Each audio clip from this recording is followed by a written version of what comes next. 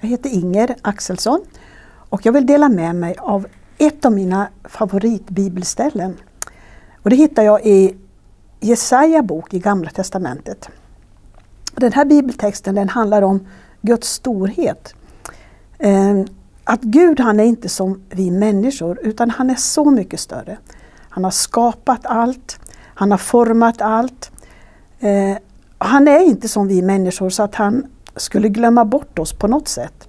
Han är min far och han bryr sig om mig. Men ändå, jag tror inte att jag är ensam om det. Ibland så känner jag så här, Gud var är du någonstans? Ser inte du hur mörkt det är? Varför hör du inte mig när jag ber? Och när allt är svårt så kan man ju faktiskt undra, var är du Gud någonstans? I den här bibeltexten som jag kommer att läsa snart så säger Gud så här, titta upp mot stjärnorna. Och det kan vi göra, vi kan titta upp mot stjärnorna och veta att det finns över 200 miljarder stjärnor. Men Gud han är så stor. Han vet namnet på varenda en. Han eh, skulle inte glömma en enda stjärna. Och min Gud, han är också min far. Han är så stor. Skulle han då glömma mig eller glömma oss? Jag vet att han vet om oss, men ibland så kanske vi glömmer det. Han vet vad jag heter och han vet vad du heter och han vet allt om oss. Nu vill jag läsa ifrån Jesaja, ifrån det 40 kapitlet. Och jag börjar på den 26 versen. Och så här står det. Lyft upp era ögon mot höjden och se, vem har skapat allt detta? Vem för härskaran där uppe fram i räknade skaror?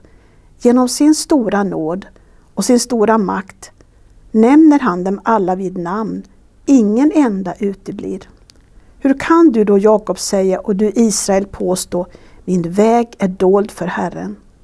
Gud bryr sig inte om min rätt. Vet du inte, har du inte hört att Herren har skapat jordens ändar? Han blir inte trött, han utmattas inte, hans förstånd kan inte utforskas. Han ger den trötte kraft, han ökar den maktlöse styrka. Ynglingar kan bli trötta och ge upp och unga män kan falla. Men de som hoppas på Herren, de får ny kraft och de lyfter med vingar som örnarna. De skyndar iväg utan att mattas och de färdas framåt utan att bli trötta. Vår far, han ser oss och han vet om oss, hur mörkt och hur svårt det än kan vara. Han har mycket att hålla reda på, men han glömmer inte en enda utav oss. Han vet vad vi heter. Han blir inte trött och han blir inte svag och han förändras inte. Och så vill han ge oss den kraft som vi behöver. Så kan vi gå framåt till en ny dag och veta att han går med oss. Amen.